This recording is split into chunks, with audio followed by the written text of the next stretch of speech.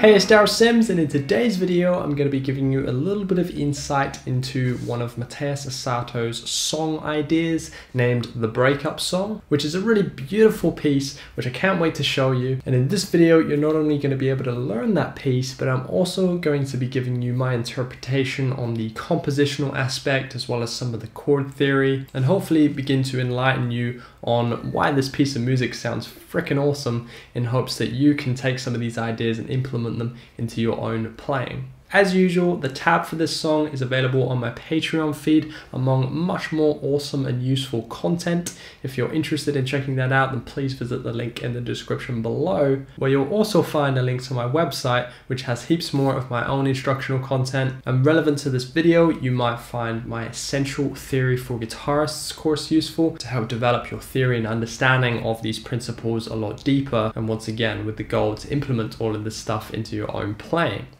And with all of that stuff said, let's crack on with the video. Now there's just a handful of things that I want to mention before we crack on with the main body of the song, and that's that you're going to want to use your bridge pickup for this entire piece, and we start off by fading in this chord. That's an E major 9. We've got the root here, which is the open E, of course, and then the second or the ninth degree on the D string, followed by the fifth, and then the seventh. You could also see that as a B major triad with an E on the bass, whatever works for you. But as I mentioned, we're gonna fade that in, so roll the volume pot off entirely, play it, and then gradually introduce that beautiful tone. This chord also is going to represent the tonal center for this entire piece, which I'll elaborate on shortly. After that, we have the following lick, which is very cool, very beautiful. I'm going to play that super slow for you and hopefully I don't need to elaborate on it too much. Use your eyes and your ears to see what's going on here. So we start off with a hit.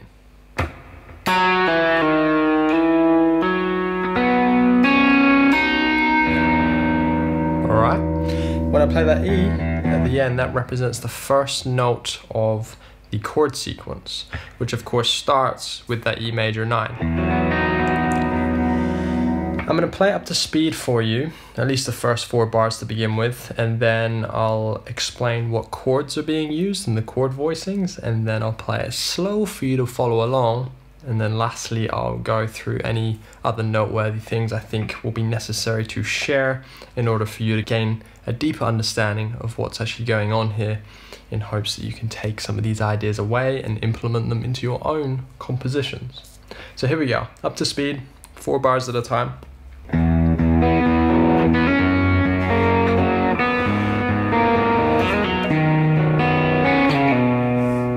So let me talk about the chords that are being used here. Of course, we start off with the E major 9 shape. And then we've got a very simple F sharp major triad. So it's a closed position in the middle there with your thumb wrapped around the top. Followed by a G sharp minor 9 or a G sharp minor add 9. We've got the third finger at the top here. This is a little bit awkward to finger. Your first finger is going to stretch all the way to that first fret on the D string and then second finger, third fret on the G, that's your ninth degree there, and then your open B, which is your minor third. And you're gonna need to finger it like that because we need that little finger available for the embellishment that connects that chord to the next chord, which is. So that's uh, six, four, six, zero, middle four strings. And that chord could be that chord could be interpreted in two different ways. It could either be a D sharp minor seven, or it could possibly be a first inversion triad of B major, which by the way is the parent major key of all of this. But reflecting the tonality of each of the chords and the progression, we're actually in the key of G sharp minor. So we've got an ascending progression here essentially. We've got uh, E major, your sixth chord, into your seven, into your one, and then into your, uh, if you see this is the B major, this would be your three. So now I'm going to go ahead and play those four bars super slow for you to follow along. And once again, hopefully I don't need to elaborate on this too much. I want you to use your eyes and your ears to see what's going on. So starting off with your E major 9.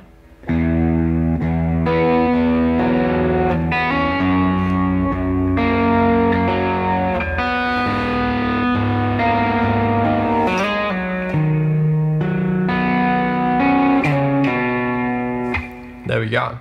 If you need to rewind the video and play that back again, then do so before moving on to the next part. Don't forget to watch out for the right hand when playing this. It's not just about the notes that are being played, but it's also, of course, how you play them. Now, just a quick side note when I learn songs like this and I try to search for a deeper meaning of how they're composed into what they are, I always look out for the main melody and the bass notes.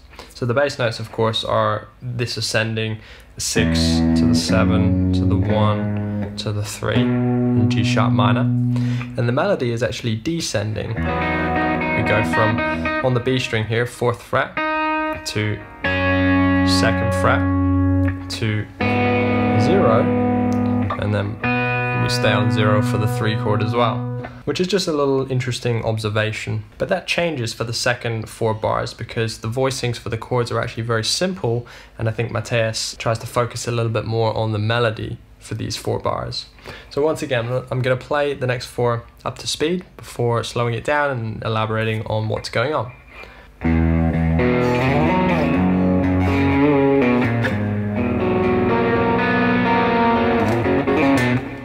So the chords used for these four bars are very simple. We start off with two power chords, just an E power chord, into an F sharp power chord, followed by this G sharp minor 9 again, but slightly different voicing. You've got your root, your minor third, your minor 7, your ninth, and then your minor third. And then lastly we have this little embellishment really at the end, which doesn't necessarily highlight a chord, but I think the most noteworthy thing to bear in mind here is that the progression is still ascending. Again, if you look at the root notes, we've obviously got your E, F sharp, G, and then these two here before the next section of the song. So let me slow all of this down with all of those embellishments. Again, I'm just gonna play rather than say. Here we go.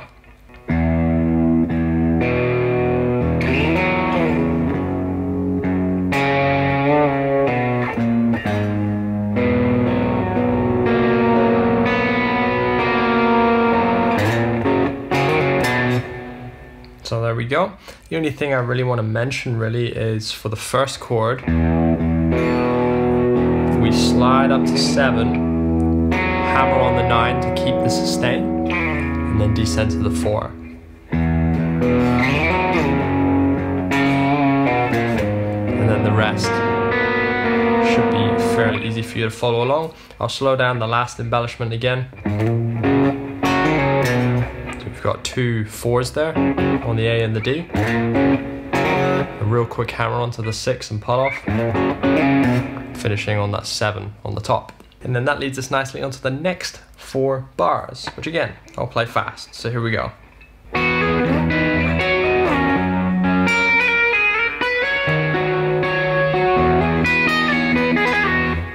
So there we have it. So rather than break down the chords at hand here, I'm going to do that as I go along whilst breaking this down slowly for you. So we start off with this ascending pattern of sixths.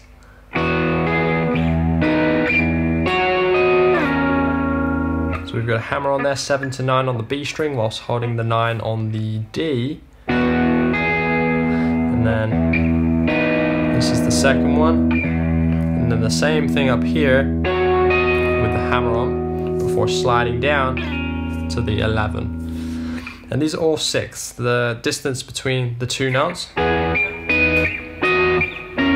are all sixths. And this is a wonderful thing to do to make a melody sound a lot more interesting.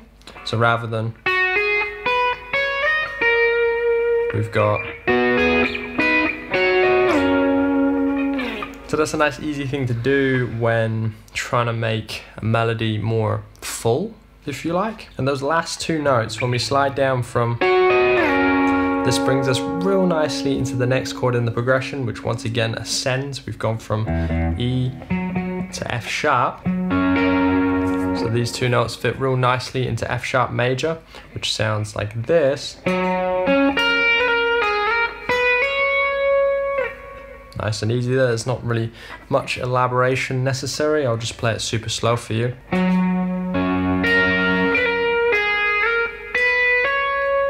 And then that leads into our next bar, which is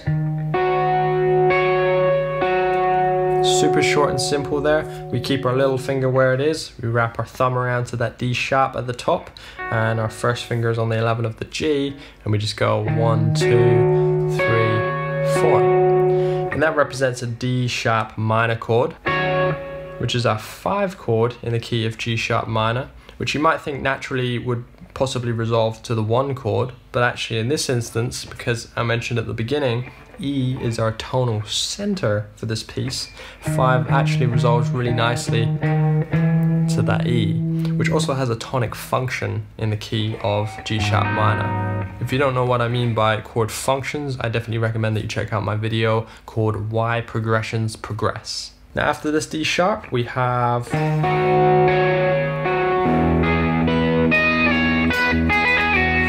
So that's just a really nice melody there that I'll slow down for you from keep your first there, take everything else off, hammer on.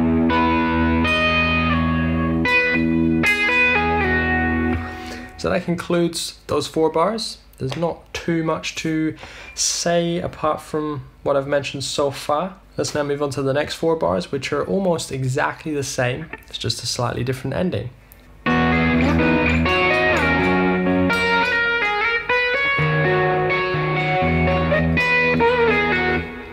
So, as you can see, it starts off exactly the same. I'll go through and play it slowly until the point that needs more attention.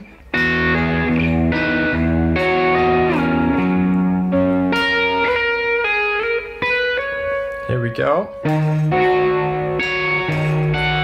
I bar that little finger, let go at the top, keep your little finger where it is.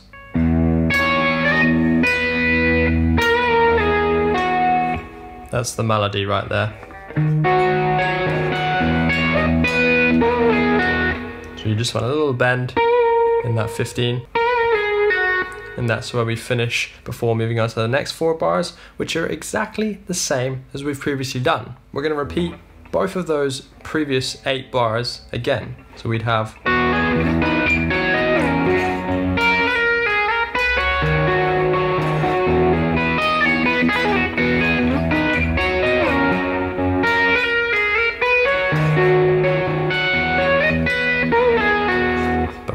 the next four bars, which has a slight change to it.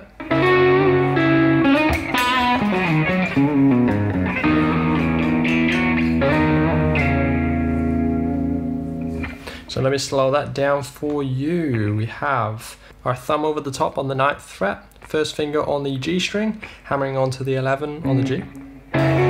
Get that whammy ready, just pull it up slightly.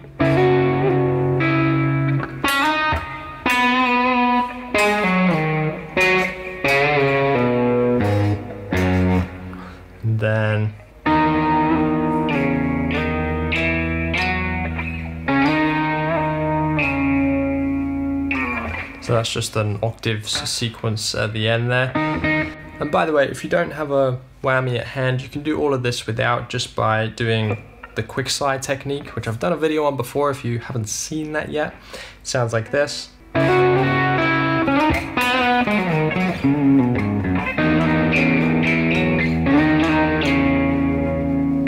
So notice I just go in for some quick slides. Sounds very similar to if you were to use the whammy. Now in that section we go between two chords which are C sharp minor into E. Okay, so that's your four chord into your six chord before leading us back into what seems to be the main melody or the chorus.